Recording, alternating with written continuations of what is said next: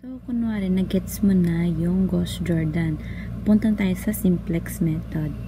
So, sa simplex method, ito yung solve natin na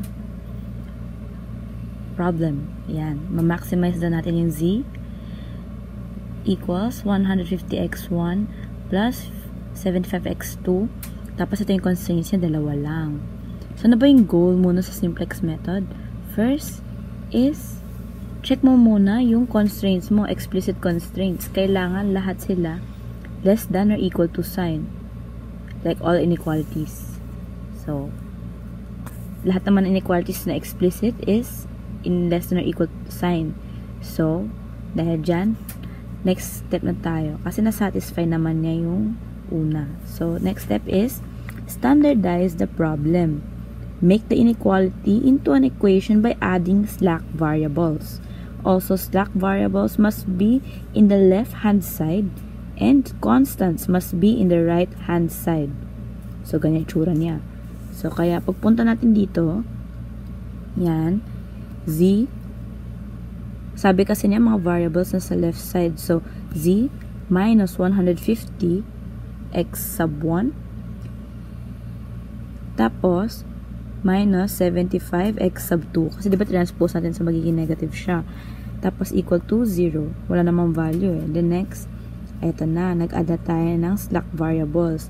Meaning ng slack variables is, it's, it is an unused resource. So, for x sub 1 plus 3x sub 2 plus s sub 1. Yung number ng slack variable mo, depends kung anong number yung constraint mo. Kung 1 to, 1 din yan. Kung 2 to, 2 rin yan. So, ganyan. Para maging equals, para magawa mo siyang equation add ka ng slack variable. Then, same lang din dito. Add ka lang ng S sub 2. After nyan, next is, develop your initial solution by writing the simplex tableau. Parang ginawa lang natin sa Gauss Jordan, kinuha lang natin yung mga coefficient nito, yung mga katabi na numbers na mga letters, ilalagay natin dito sa tableau. Yan yung tableau natin, no? So, yung Z natin, na equation. So, ganyan siya. Yan. Ito yung basic variables. Yung basic variables, yun yung mga equation na nabuo dito.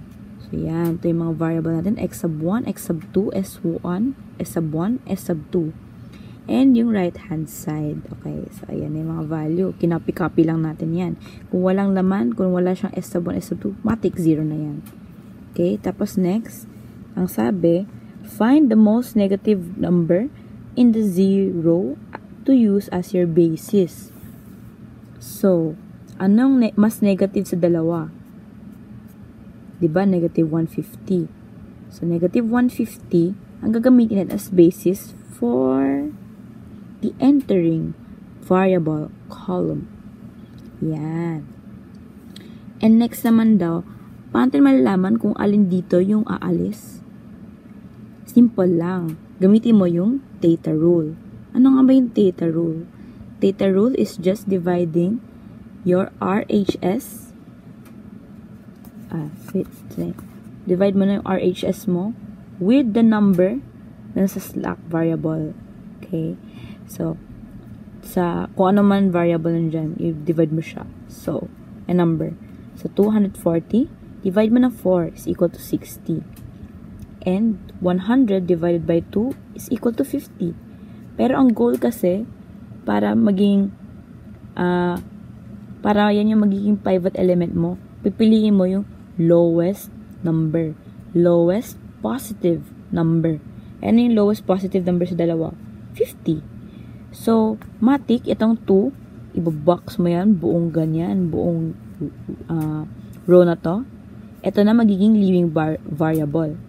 So, ano ba meaning? Pag meaning living variable, iaalis mo na siya sa tablo mo. So, pag gagawa ka ng next na table, ito, mawawala na yan. Tatakpan mo na lahat yan. And itong buong entering variable column mo, ang ipapasok mo. Kaya ang next naman is, yan, ipapasok mo na si x sub 1. And then, mawawala na si S sub 2. Kasi nga, umalis na siya, ba diba? Mga naiiwan. Ganun talaga yun. Then, next, i-apply mo na si Gauss Jordan. Ito na, where it gets fun. You use the Gauss Jordan. Ang pivot element kasi, ang goal niya, sa pivot element naman, kahit saan niya nakalagay, goal niya dapat maging 1 siya. Maging 1. And then the rest of the numbers, whether it's above the pivot element or below the pivot element, kailangan maging 0. So, ang gagawin natin para maging 1 to, simple lang, multiply mo sa kanyang reciprocal. Yung, tulad ng tinuro ko kanina, multiply mo sa reciprocal niya. So, 2 times 1 half. Ito yun na, 1 half R3 sa buong equation. So, 1. Ah, para maging 1 to, 2 times 1 half. And the next is 1 times 1 ng 1 half, 1 half. 0, multiply mo na kahit ano sa 0, 0 pa rin yan. Then 1, multiply, ay, 1 half times 1 is 1 half. And then 100 times mo ng 1 half is equal to 50. Then, ganun lang din dito sa R3. Dahil ito nga ginamit mo as basis, ba diba? Yan na yung R3. So, next, yan yung magiging basis mo for R2 and R1. Para ma-eliminate mo to, magiging 0, 0 yan. Ayan. Then, ayun na yung sagot.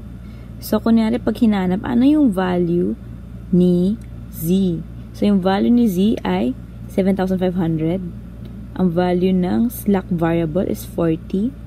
And ang value ni x sub 1 is equal to 50.